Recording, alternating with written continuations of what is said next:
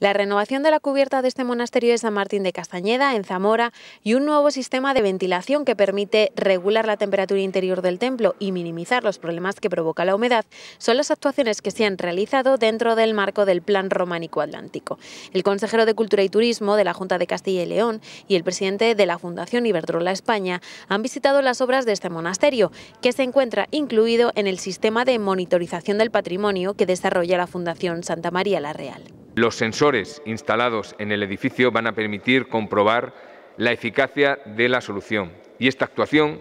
que ha supuesto una inversión de casi 400.000 euros, pone de relieve algo en lo que estamos trabajando y es la importancia de las nuevas tecnologías en la conservación del patrimonio.